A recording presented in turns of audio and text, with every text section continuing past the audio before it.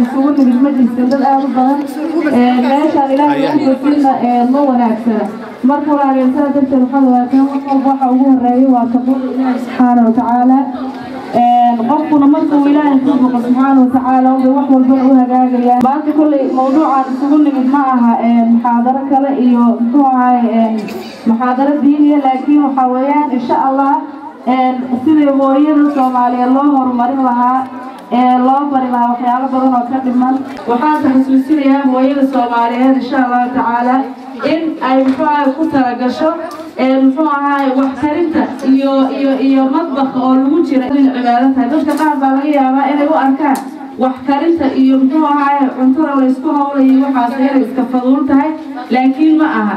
Waxaa weeyaan waa cibaado. Haddii aad u niyeysato in oo ummadaada u karinayso iyo caruurtaada iyo ehelkaaga iyo dadkaaga ilaahay ku caabudaan oo aad cibaadada ilaahay ugu kaalmayso. Taasna waxaa weeyaan qofku sidiisaba ma dhasho isagoo mutacalima qofku isagoo wax yaqaano ma soo dhasho. Wax kastoo noqoto xataa diinta waa in la baro haddii ay noqoto nolosha noocyadeeda kala duwanna waa in laga xishoodo ma ahay hooyo walba inay ku talagasho siday wax u siyaadsan lahayd haba ugu horrayso diinteeda iyo muxuu ahaay wixii ilaahay ku xidhi subxaana watacaala hadday intaa ay hesho iyo ilmaheeda iyo reerkeeda inay wax u qabato oo ay tarto taasna waxay ku iman kartaa hooyadu inay wax barato oo ay muxuu ahaay goobaha wax lagu barta ay xaadirto.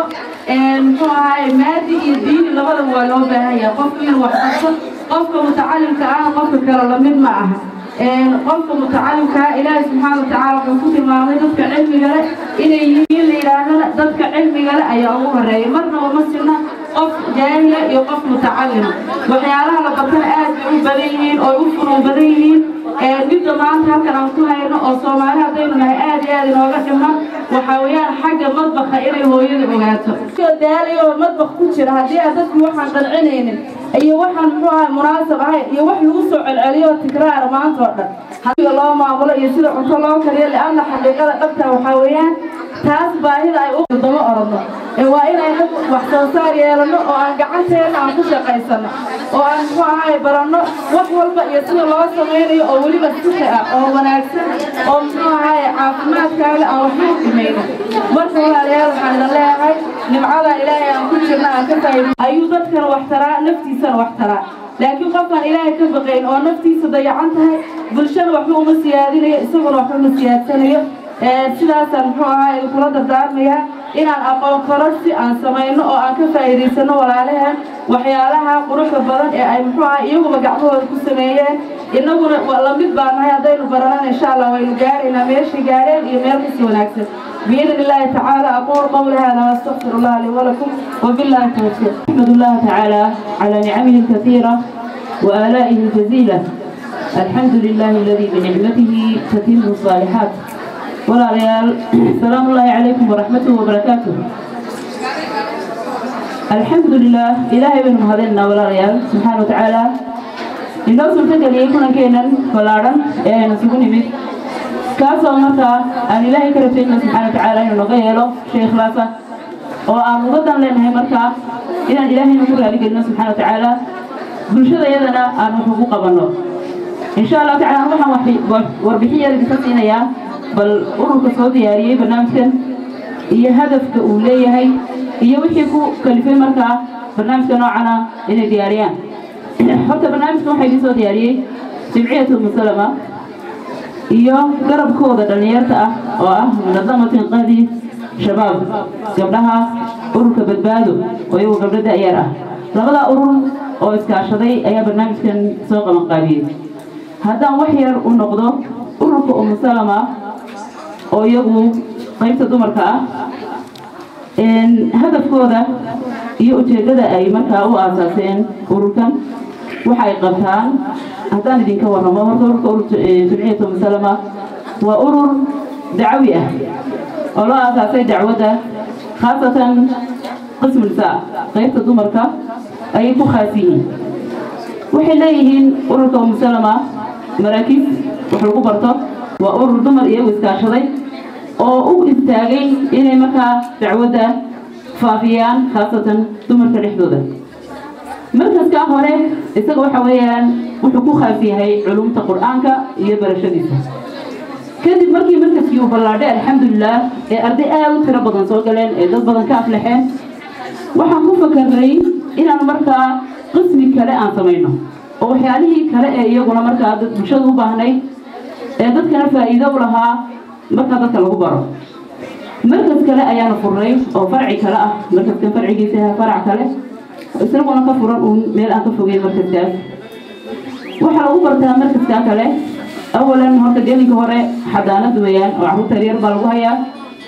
Gelinka dambe waxaa lagu bartaa duruus diiniya oo shanta maalmoodba duruus musalsal ah baa ka socota. Maalinta khamiista iyo jimcahana waxaa lagu bartaa cunto karinta.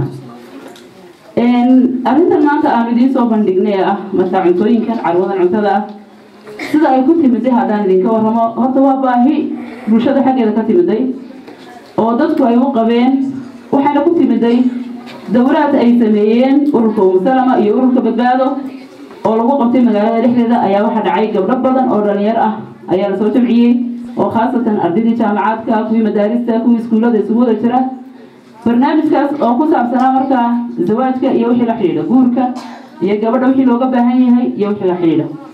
Marka arrintaas waxaa ka soo dhex baxday in baahi weyn loo qabo gabadhu inay wax ka ogaato wax ka barato mustaqbalkeeda iyo guurka ay rabto markaa in ilaahay haddii subxana watacaala u qadara ay gasho waxyaalaha looga baahan yahay waxaa ugu horreeya inay tahay qof aqoon u leh maamulkii guriga oo ugu horeeyo cunto karintii iyo wixii lamidka ah.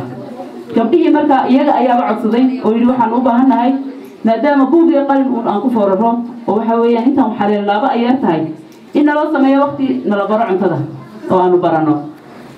Horta saasuu ku yimid markii hore dabadeeta alxamdulilah ilaahay waa fududeeyey muddo markay socotay waxaan isku daynay markaa annagoo aan cidna la kaashanin annaga intayadii ururkaas ahayd inaanu aasaasno markaskaa kale oo loo sameeyo markaa qaybtii cunto dadka qaar waxaa laga yaabaa inay u arkaan meeshan in business iyo shaqo loo furtay. Xaqiiqatan arrintaasi way ka madax bannaan tahay arrin ganacsi loo furtay ma aha codsigaa dadku horta marka hore ku yimide annaga ayaa culayskiisa saarnay annagoo aan cidna la kaashanin ra'yigaana cid aan uga dambayna ma jirin. Walaa rijaal aan uga dambayno oo aanu ka shidaal qaadanay walaa hay'aad aan wax weydiisanay oo nafangeliya midna ma jirto. Dumarkaas iyagaa isku tashaday iyaga ayaa qorshahaas gaadhay alxamdulilah ilaahay arrintii waa fududeeyey. Dad badan baa markaa ka aflax.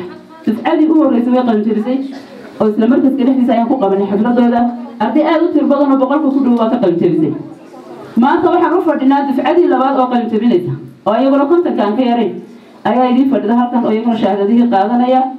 Alxamdulilah ilaahay baanu ku mahadinaa subxaana watacaala arrintaas fududeeyey. In badanna dadka ay ka faa'iideen oo iyaga naftooda ardaydaad arki doontaan kelmadooda marka la siiyo inay ka warrami doonaan waxay kala kulmeen halkaas. Ilaahay dartii naqaskaasi alla subxaana watacaala mar walba buuxinayay. Bishii toddobaad ilaa hadda daraad baa la bedelay. Rumaysanaysaan marka umusalamo arrinteeda ma aha arrin business ah. Haddii laiska dhaadhiciyo yaa laiska dhaadhicin waa arrin alla subxaana watacaala loogu dhowaanayo. Waa arrin lagu quudinayo dadka masaakiinta agoonta waana la socotay waana ogtihiin waxaana u daliilaa gaaskaas sita shuhuur buu maanta maraya lix bilood. Wiigii horaa la bedelay cajiib bay ila noqotay adiga marka shaqaynta aan la shaqeeyay gabdhuhu ayagaa shaqaynaya awal. Aad iyo aad bay jeclaysiisay leanna waa arrintaa ilaahay subxana watacaala ugu dhowaanayo leanna naqaskaas yaa buuxiyey allah subxana watacaala midda kale cuntada maanta la soo suubiyey. Gadashada aa gadateen koo waa ku najaxaysaan labo ilaahay subxana watacaala baa idiga ajar siinaya sadaqana way ku jirtaa. Laba ajar baad qaadatay idinkoo ku dharagteen idinkoo ilaahay subxaana watacaala jidkiisa lacagta aad ku bixiseen. Shantaa hooyo hal shilin ma qaadano kaasada islaamka ku shubnaa waxaan ku korinaa dhibaatada ka haysata buurina. Waana tu aan aada iyo aada oon u taagana haryahabeen marka dadka iska dhaadhicinaya waa busineska sameeye umusalama ma ay sameecin anaana la joogo. Ilaahayna miisaanka xasanaadka ha u siyaadiyo jazaaka allahu khayr sidaasiisa. Alla subxaana watacaala xayi buu ka dhigay meyd kama dhigin. Qofka bini aadanka ah cuntooyinka saxiga in uu barto aada bay ugu fiican tahay. Bakhaaradan ayaa la ii sheegin marka qof walbona waxaa kula talinayaa heedda uu dayacay. Annagu heedda baan aada iyo aada u bambayna meeshaan hadday ceesh noqoto hadday shaah noqoto hadday noqoto bariis. Hadday noqoto cuntooyin kale oo kala duwan. Khayraadka wadankeena qudaarta waxyaalo badan baa qudaarta ka saameynay waxaa nabaatiga dhulka ka soo baxo waxyaalo badan baan ka sameynay. Sideedana qofka bini aadanka ah jiro ma laha ilaa umul badni caloosha waxa weeye jirada ka weyn ma jirto. Qofka bini aadanka ahna ilaahay subxaana watacaala wuxuu u sameeyey khuruuj. Khuruujkana wuxuu ugu sameeyey nabaatiga dhulka ka soo baxo. Haddaad tiri maanta baastaan cunaya oo caawa baastaan cunaya oo bilaadka ilaahay ka baqa. Ma laga yaabo qofka inuu maskuul galo? Maya lagama yaabo marka inta badan marka waa inaan aadnaa dhakhaatiirta sababtay tahay waxaad cuntay baad ansartaa.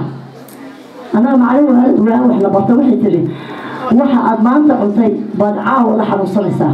Waana arkay. Marka heeda dayacan hordhigasta igu qaali noqotay. Haddana haddana heedu aad bay faa'iido badan tahay. Internetka gala waxaa la dhahaa atarbiya nabawiya waxaa kaloo la dhahaa shaciiriya. Subxaan allah ishiriin labaatan baan ka tiriya cudur ee daawo u tahay oo kansarka ugu dambeeyo. Maantana soomaaliya cudurro aan ooli waa yaryahay gaaska waa ugu horreeya la dilay. Leanna burba daqiiqaa la dishay waxaad maqlaysaa gabadhii waxooda markay qasto. Intaa ayar baan heed ku daray. Inta kale waa daqiiq. Deyaa qiyaamte. Calooshada jirkeeda qiyaamte. Leanna canjeerada waxay ku leedahay way madoobaanaysaa miyaa sawir ka qaadanaysaa. Waa in caloosheeda ay ka faa'iidaysato sooma midda kale gabadh walba waxay isku qurxinaysa soo rag maaha ragga saf waxay ugu jiraan heed hoteelada adigana baastada habeenkii cunaysa adiga carruurta yaa xanuunsanaya idinkaa xanuunsanaysa ma? Muxuushii baa dhammaanaysaa tidhaahdeen waa muxuu ma dhammaanso iskala dhiciseen waa cuntada dhamaatiga barta. Midda kalena cuntooyinkan amaanta soo wada sameyn. Midda kale sideeda qofka bini aadanka waxa uu gacantiisa ku samaysto waa saxa. Waxa uu soo gatay saxa ma aha. Qofka dumarka waxa u fiican inay wax barato cuntooyinka hadda maanta aan soo sharaxnay haddaad rabtaan cuntooyinka reer magaalka wuu yaalaa waa hambeegarkii wuu yaalaa doonadkii wuu yaalaa heedii wuu yaalaa bariisyadii oo noocyo badan ah oo carabta iyo nooc walba ka yimaada wuu yaalaa ceeshkii xumuskii. Waxaa kaloo yaallo baradhadii oo nafaqada loo dhahay. Marka walaalayaalow cuntooyinka barta oo iskuulaadka gala. Haddaba iskuulka ilaad ugu qalqaalina lacag iga qaadanayna ma aha. Ee adiga mustaqbalkaaga aan fiirinayna gabadha hadda gabadh baa maalin waxay tiri hooyo. Jaamacad waxaa ka soo baxay medisiino qur'aankana waa soo dhameeyey shareecadana waa soo dhameeyey. Markaan guursado wiilka wuxuu digsiga dabka sare cunto kale. Waxaa ku leetira wiya waxaan ma aqaan bay jir aniga waxbaan soo bartay shahaadooyin baan leeyahay. Shahaado hooyadaa hooyadaa u hooyadaa u soo baratay waa run waxay isku soo qurxinaysa digsigaasaa laga rabay digsiga ma sixi karto. Baasii bilis bay taqaanaa curyaana maxay taqaanaa marka inay wax barato barato halkaas waxay ku haysaa musarabo lacag ugu sugaan marka walaal waxbarta aniga nafteeda taasaan igula waalinaya aniga hadda gabdhaha wax badan baan ka faa'iideeya ka faa'iidaystaa i bareen cuntooyin badan oo aan aqoon ilaahay haka ajar marka cuntooyinka barta hooyo tii gabar ah oon hooyo u nahay tii walaala cuntooyinka imaada oo barta waa maalin khamiisa imaado jimcaha waa meeshaasay ku taala waa laba saacadood waxba ka in aad shan sano ama toddoba sano jaamacad soo barato waad ku qasban tahay soo ma? Digsigaaga inaad four months six months baratidna marid leanna waa kugu adag tahay. Kanaana mustaqbalkaaga ah jaamacado waxbarashada soo dhameynay jikaday ku dhegan tahay shahaadadii. Marka hadda waa gabadhii isdhehaysa shahaadadu wiilka rabaa ma rabe digsigaasu rabaa.